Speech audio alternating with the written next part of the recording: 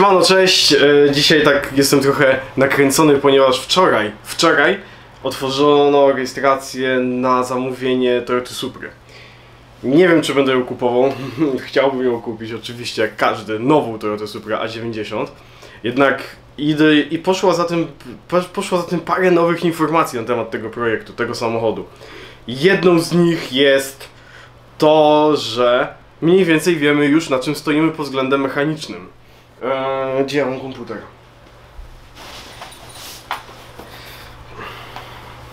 Będę się posiłkował komputerem, ponieważ nie przygotowałem sobie laptopa ani nic, tak samo nie mam żadnego, e, żadnej, e, że tak powiem, mm, podstawki na komputer. Jeżeli chodzi o samo zamówienie Toyoty Supry, nowej Supry, e, będzie tak zwany klub Supra 900 i to jest pierwszy wypust samochodów. 900 egzemplarzy zostanie wyprodukowanych i tylko na całą Europę 900 osób. To jest po prostu naprawdę coś niesamowitego, więc rejestracja na to już jest otwarta, już w tej chwili.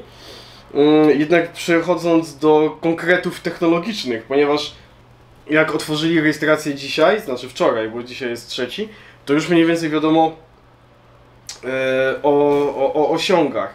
Pod maską rzędowa, rzędowa szóstka, rzędowy silnik yy, sześcio...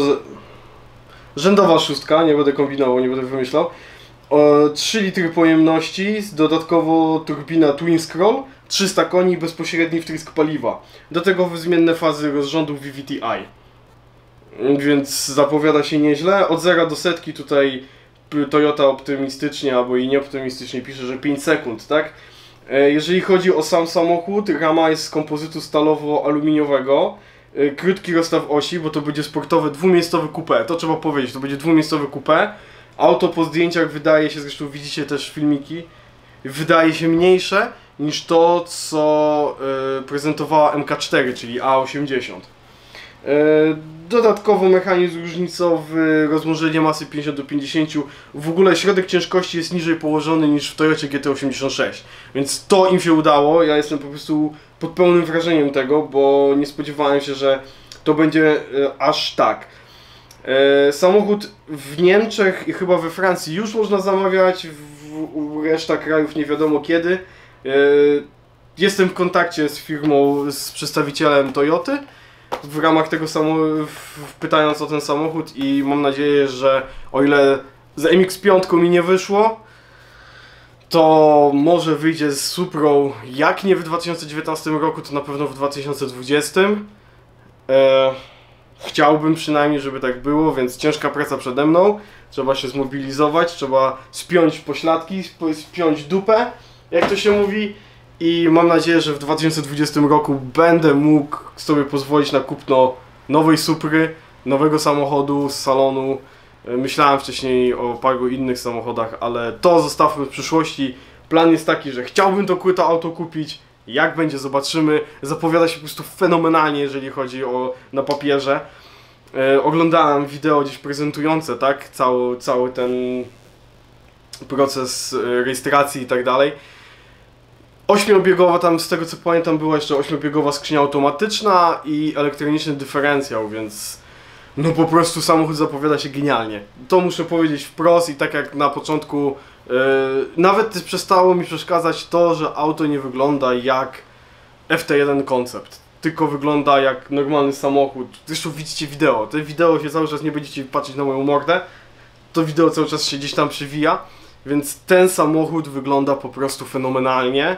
Czekam, e, gdzieś tam plotki w internecie na forach piszą, że Autosalon Detroit ma pokazać samochód już bez tego kamuflażu, bez tej okleiny, y, gdzie auto było na pokazie prasowym, na którym nie byłem, bo nie było możliwości, żebym był, bo tam byli tylko influencerzy i ważni dziennikarze samochodowi, a ja nie jestem ani dzie- dziennikarzem samochodowym, ani tym bardziej influencerem nie gram w gry, nie pokazuję tego, więc y, tam samochód był, był obklejony wewnątrz y, jakimiś y, foliami zabezpieczającymi, nie pokazującymi co tam, jak wygląda wnętrze. Tak samo z zewnątrz był oklejony tą znaną już Wam okleiną, która została pokazana na Goodwood. Ten samochód od Goodwood praktycznie z tego co widzę i z tego co gdzieś tam po, po, po w internecie nie zmieni się od tego, co jest pokazane na Goodwood. Tam tylko tak najprawdopodobniej chyba zostanie ściągnięty ten kamuflaż i jakieś delikatne zmiany